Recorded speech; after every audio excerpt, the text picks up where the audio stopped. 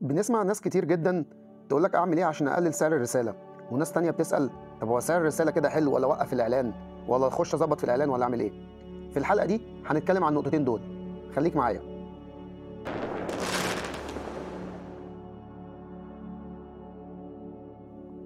قبل ما نبدأ في الحلقة لو لسه ما عملتش subscribe للقناة فانزل دلوقتي حالا اعمل subscribe عشان في القناة هنا إحنا بنتكلم عن كل حاجة تخص إعلانات الفيسبوك وإعلانات الإنستجرام.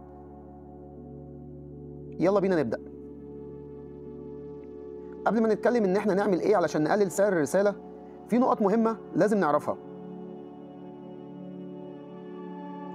أول حاجة المصلحة ليك مش في سعر الرسالة المصلحة ليك. أنت المكسب إيه ورا اللي حصل ده؟ ورا الكامبين اللي حصل ولا الإعلان اللي أنت عملته؟ يعني مثلا لو جينا بصينا على شوية إعلانات الإعلانات دي لسه شغالة لحد دلوقتي.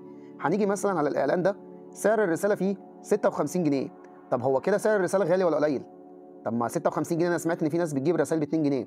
تمام. طيب هنا سعر الرسالة مكلفنا 7 جنيه. هنا مثلا سعر الرسالة مكلفنا 4 جنيه. هنا مكلفنا سعر الرسالة 123 جنيه. طب ما كده السعر ده عالي ولا السعر ده قليل؟ محدش هيقول لك السعر ده عالي ولا قليل أنت اللي لازم ترد على نفسك. طب أنا دلوقتي تكلفة الرسالة 123 والإعلان ده لحد دلوقتي جايب لي 11 رسالة. طب أنا مثلا لو في ال 11 رسالة دول بعت بيعتين البيعة مثلا مكسبي فيها 1000 جنيه فبالتالي أنا كسبان 2000 جنيه وصارف مثلا على الإعلان ده لحد دلوقتي 1000 جنيه. فأنت أكيد بالنسبة لك الكامبين ده والإعلان ده شغالين حلو ما فيهمش أي مشكلة خالص. عندك مثلا لو سعر الرسالة وصل ل 1000 جنيه طبعا 1000 جنيه هي حاجة عالية جدا بس أنا بديك مثال لو سعر الرسالة بيوصل 1000 جنيه وأنت كل خمس رسائل أنت مثلا شغال في العقارات كل خمس رسائل بتبيع شقة. ومعروف طبعا مكسب العقارات بيبقى عالي جدا بيوصل ل 25 و30 و40 ألف جنيه وساعات أكتر من كده. هنقول مثلا لو أنت مكسبك في العقارات 30 ألف جنيه. فبالتالي أنت كل خمس رسائل بتعمل بتبيع شقة. فبالتالي أنت كل خمس رسائل بتبيع شقة. فأنت كل خمس رسائل بتكسب تقريبا 30 ألف جنيه. طب والرسالة واقفة عليا ب 1000 جنيه. طبعا الموضوع كبير بس نحسبها مثلا يبقى أنت كل خمس رسائل ب 5000 جنيه بتكسب قدامهم 30000 جنيه. طب أنت لو رحت بال 1000 جنيه ووريتها لواحد قلت له هو سعر الرسالة ده كده عالي ولا حلو ولا وحش؟ أكيد هيقول لك ال 1000 جنيه ده سعر عالي جدا جدا جدا لازم توقف الإعلان دلوقتي حالا. فبالتالي أنت هتسمع بقى كلام اللي أنت رحت له ده ولا هتسمع كلام نفسك اللي أنت بتكسب مكسب حلو من ورا الرسالة؟ يبقى علشان ما نطولش في الحتة دي أنت اللي تحدد. توقف الإعلان تكمله تعدل عليه أنت اللي تحدد هتشوف المردود بالنسبة لك إيه. لو المردود مرضي بتسيب الإعلان. لو المردود مش مرضي طبعا بتوقف الإعلان. خلينا بقى نيجي هنا نعمل إيه علشان نقلل سعر الرسالة؟ أول حاجة حجم الجمهور المقدر بقدر الإمكان بيبقى واسع. يعني أنت هتبص على حجم الجمهور المقدر لو لقيته أقل من مليون تحاول بقدر الإمكان وليه هنا بقول بقدر الإمكان؟ هوضح الحتة دي دلوقتي. تحاول بقدر الإمكان إن أنت توسع المليون. لو مستهدف منطقة وتقدر تغطي منطقة تانية اختار المنطقة التانية. تزود في الأعمار شوية.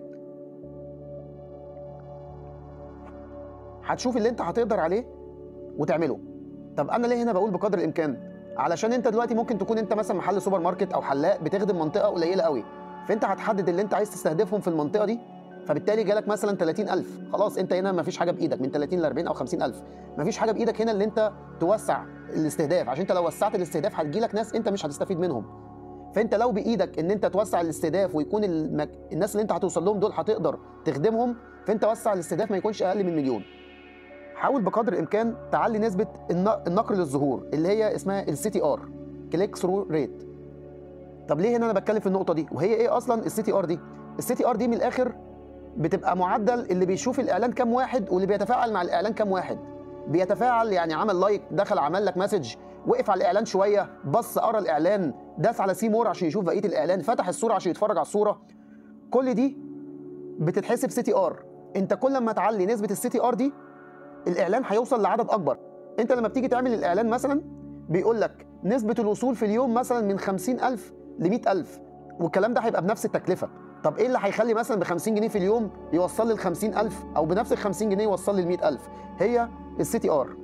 فبالتالي إحنا بقدر الإمكان بنحاول نجذب العميل عشان مثلا يدوس see more بنجذب العميل عشان يبدأ يبعت رسالة بنجذب العميل بصورة ملفتة بنجذب العميل تحط ألوان اللي هي بتجذب العين الفوسفوري أو الأحمر الباهت ده أي حاجة بحيث إن أنت بتوقف العميل على الإعلان يقراه أو يشوف الصورة أو يبعت لك رسالة أو أي حاجة. فبالتالي هو لو كان هيوصل ل 50000 ال 50000 دي هتجيب لك أربع مسجات في اليوم فبالتالي هو هيبدأ يوصل لأكتر من 50000 وممكن توصل ل 100000 فبالتالي بدل ما هيجيب لك أربع مسجات هيجيب لك بخم... آه 8 و9 و10 مسجات. والكلام ده بنفس الميزانية اليومية. وفي نقطة مهمة هنا ما تفضلش كل خمس دقايق تبص على الإعلان تقول ده سحب 2 جنيه لسه ما جابليش رسالة، سحب 10 جنيه لسه ما جابليش رسالة، مش كل خمس دقايق هتقعد تبص على الإعلان، لازم تديله فترة يشتغل فيها براحته، والفترة دي يبقى أيام شغل وأيام weekend ناس فيها أجازات، أيام أجازات عشان الفيسبوك نفسه يبدأ يشوف أنت الجمهور بتاعك بيقعد إمتى. يعني أنت ممكن تقعد طول اليوم ب 50 جنيه جالك message واحدة. وفي آخر ساعتين في اليوم وقت اللي هي الناس قبل ما تخش تنام بتحب تمسك الموبايل في آخر ساعتين دول جالك خمس مسجات. يعني أنت كان من من ساعة بالظبط ب 50 جنيه جاي لك message دلوقتي مثلا ب 70 جنيه جايب لك سبع ثمان مسجات. فبالتالي أكيد أكيد سعر الرسالة هيقل. فأنت هنا لازم تدي الفيسبوك وقته وما يقلش عن أربع أيام علشان تعرف بعد كده تحدد فعلا سعر الرسالة ده كده حلو ولا لأ. وأحب أقول لك على نصيحة كده بسرعة. يفضل أنت لما تيجي تعمل الإعلان اعمل أكتر من مجموعة إعلانية. يعني اعمل الحملة الإعلانية وما تحطش فيها الميزانية؟ هتنزل بعد كده على المجموعات الإعلانية. هتعمل أكتر من مجموعة إعلانية. مجموعة إعلانية هتغير فيها الصورة مجموعة إعلانية هتغير فيها طريقة الكلام مجموعة إعلانية هتغير فيها الاستهداف.